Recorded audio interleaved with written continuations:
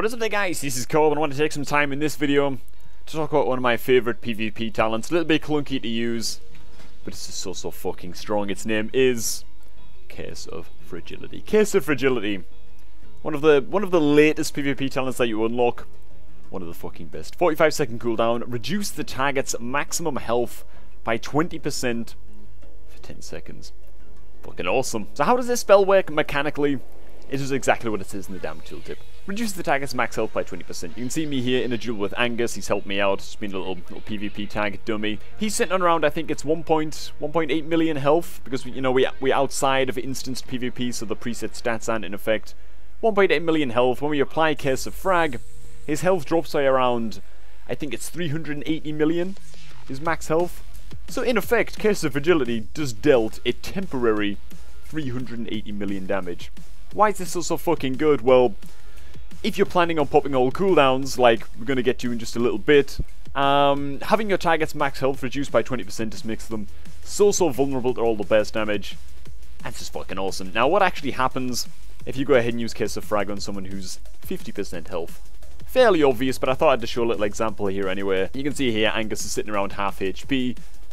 Needless to say, Curse of Frag is half as effective. You want to use Curse of Fragility on people when they are full health.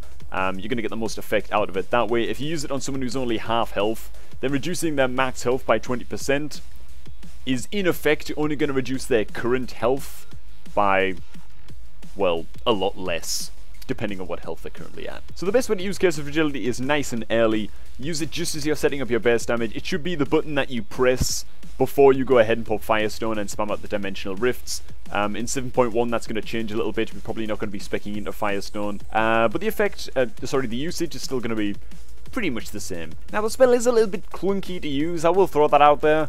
Um, a little bit clunky to use. It is on the global cooldown, and it's also additionally clunky to use. Because at least right now with the Shadowburn spec, you also want to kind of pre-buff yourself with Mana Tap. That uses up another global cooldown. So it wants to go something like Mana Tap, then Curse of Fragility, then fucking Soul Harvest or, or Dark Soul, you know, whatever uh, whatever the hell you want to call it, and then Firestone. So it's like it's it's just one of an amalgam of abilities that you've got to kind of layer on. It's a little bit cumbersome to do because, like I say, it is on the global cooldown. Um, that sucks a little bit. It can also be decast, it can be dispelled. Shit to be wary of, alright, when you go ahead and use this ability, but even in even in the face of all of those little shortcomings, you know, such such a fucking strong spell. It just preps people to take base damage so so well. You're gonna see when the example clip's coming up, um, if I haven't shown it already.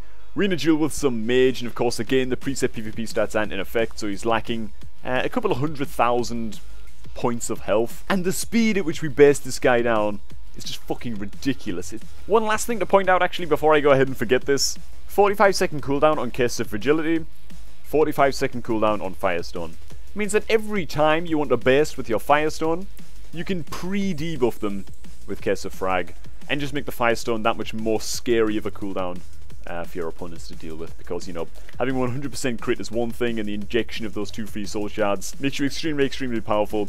It's just all the more effective if your opponent is missing, you know, three or four hundred thousand points of health uh, from the max health total. Well, that's what I'm going to do for now. So I'm going to get to the clips really, really quick. Only got a few clips, but hey, I think that they're worth showing off. Why not? Before we get to that, I want to shout out Mr. Israel Makoni, Israel Makoni, and Jack Yagami, becoming new patrons all up on the Patreon page. Really, appreciate the support. It's fucking awesome. And also Mr. Satanique, Satanique, and Timmy Modesty Frost, Elgbro actually uh, for actually updating their pledges, increasing the pledges a little bit. Fuck it, that shit's worth a shout out as well. Thanks a lot, you guys. Let's get to the clips.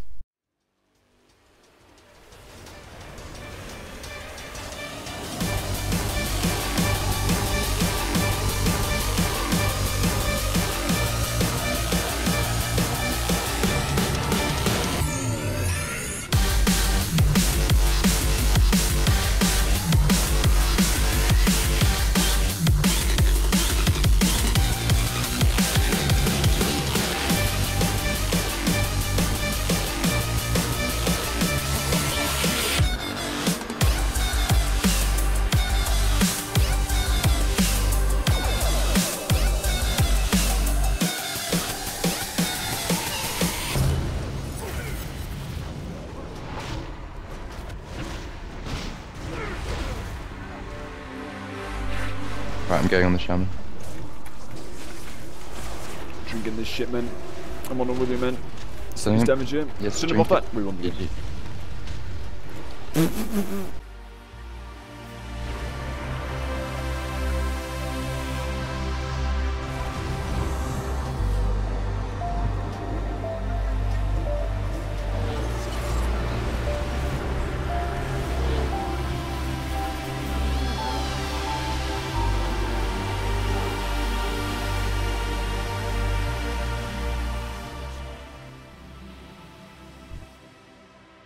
Sorry. Get over it. Oh, that didn't sound like a genuine apology. Fuck's sake. I killed this guy in a fucking duel, and then you and dead emote for sorry was sorry. Get over it. so I'm just like, oh god, Cobb, you savage! Like, leave him alone.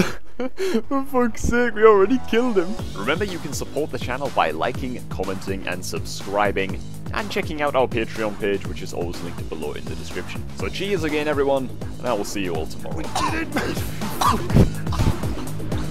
I'm drinking it This is what this game's come to. This is what this game's come to.